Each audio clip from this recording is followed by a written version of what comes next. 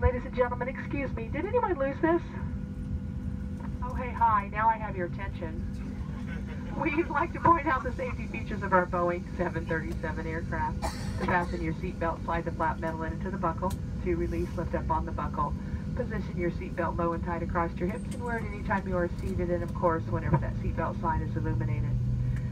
There are six emergency exits on this aircraft, two forward door exits from which you entered, two over wing window exits, and two door exits in the back.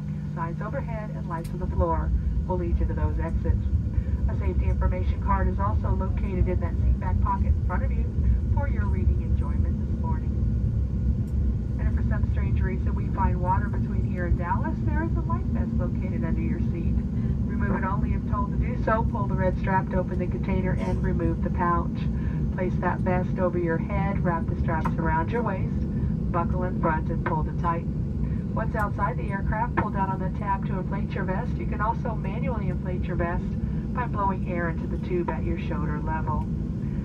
Now, it's not that we don't trust you, but your flight attendants are coming through the cabin to ensure that your seat belts are securely fastened, your tray tables and seat backs are in their full upright and locked positions, and all your carry-on items are completely underneath the seat in front of you or in the overhead bins, leaving the area around your feet clear. Smoking, including the use of electronic cigarettes, is not permitted aboard our flight this morning. Federal law prohibits tampering with, disabling, or destroying any smoke detector in an aircraft lavatory.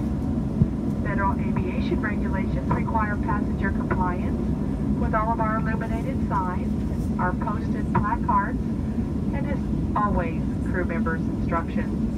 And basically what this means is you have to do what we say. Right?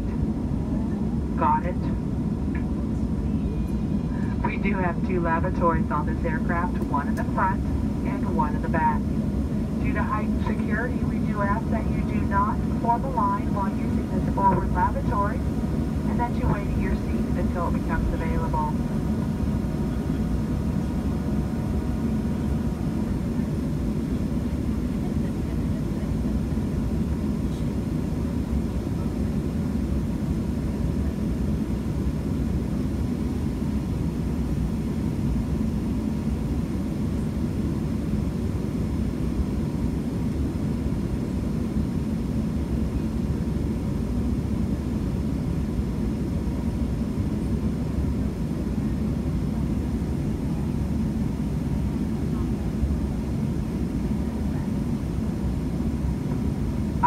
Got one last thing we'd like to show you. If needed, four yellow oxygen masks will drop from that compartment overhead. To activate flow of oxygen, pull down on the mask until the plastic tubing is fully extended. Place that mask over your nose and mouth and breathe normally. Secure the mask with the elastic, elastic strap, and even though oxygen will be flowing, that plastic bag may not inflate.